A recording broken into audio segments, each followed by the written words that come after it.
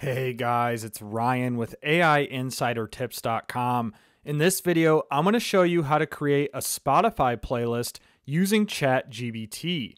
Now, guys, in order for this to work, something very important I need to call out is that you have to be a member of ChatGPT Plus. This currently costs $20 per month, I believe, but this process will not work if you do not have ChatGPT Plus. So, the first thing to do to create a Spotify playlist on ChatGPT is you need to come down by your email here and click this icon with the three dots. Once you do that, you're going to want to click Settings and Beta. And then once you're on this screen, click Beta Features, and then you want to click the toggle for plugins. So you have to enable plugins for this to work. And I'm going to X out of this.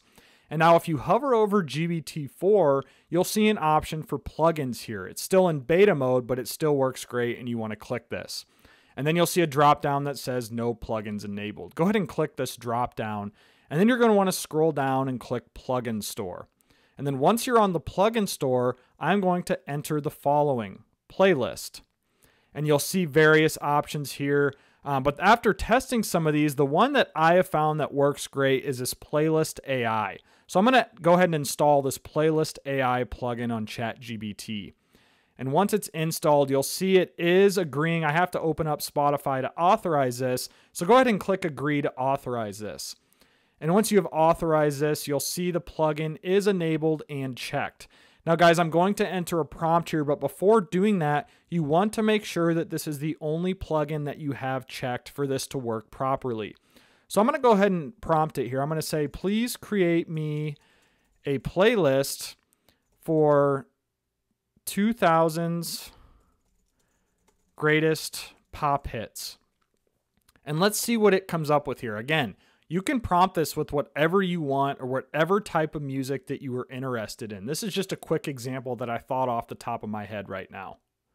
So just give it a few seconds for Playlist AI plugin to generate this Spotify playlist.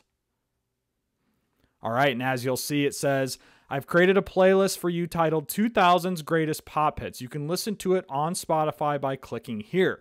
So, the best part about this plugin is that it automatically provides a Spotify link. And then if I click this, and you have to be logged into your Spotify account, but this is really cool as it just created a playlist for me within Spotify on ChatGPT. And that is an awesome feature here.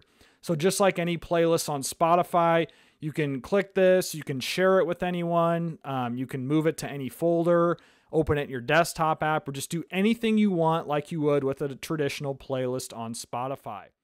So that's it, guys. That is how you create a Spotify playlist using ChatGPT. Again, this is Ryan with AI Insider Tips.